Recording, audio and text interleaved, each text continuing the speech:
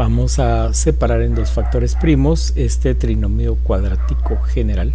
Se llama trinomio porque tiene tres términos, cuadrático porque su literal está elevado al cuadrado y general porque el coeficiente del término cuadrático es distinto de uno. Los otros dos términos, el término que no es cuadrático y el término libre, pueden ser positivos o negativos necesitamos tomar en cuenta el coeficiente del término cuadrático y necesitamos tomar en cuenta el término libre. Bien, como dijimos anteriormente, tenemos que usar el coeficiente del término cuadrático y el término libre para empezar a hacer las pruebas. También necesitamos utilizar, pero de otra forma, el coeficiente del término que no es cuadrático en este arreglo. Vamos a ver qué es lo que sucede.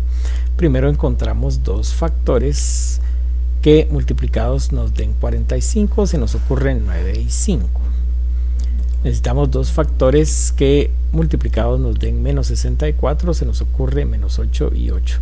Como menos 64 es negativo, quiere decir que esos dos factores tendrán que ser de diferentes signos, uno negativo y el otro positivo. Luego empezamos a hacer otras pruebas. Multiplicando en diagonal 5 por menos 8 nos va a dar menos 40. Y multiplicando en la otra diagonal 9 por más 8 nos va a dar más 72. Estos dos factores, estos dos resultados, menos 40 más 72 sumados algebraicamente nos tendrán que dar 32 y vamos a ver menos 40 más 72 efectivamente es más 32 y este más 32 es el coeficiente del término no cuadrático. Bueno, ahora resulta que tenemos el valor 9 y el menos 8 y lo vamos a utilizar por separado y tenemos abajo el valor 5 y el más 8 y los vamos a utilizar por separado. Con 9 y la raíz cuadrada de la literal, es decir, 9 y b junto con el menos 8 construimos el primer factor, 9 menos 8, y con el 5, la literal, y el más 8 vamos a construir el segundo factor.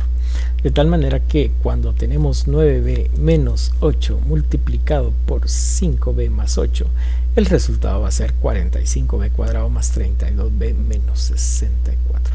Así es como se factoriza por este método. No es el único método, hay otros, hay otros métodos gráficos, hay otros métodos más o menos exactos, pero este es un método de ensayo y error, pero es mucho más directo que otros. Por medio de este método es que yo propongo que se realice la hoja de trabajo de factorizar o separar en factores primos trinomios cuadráticos generales. Gracias.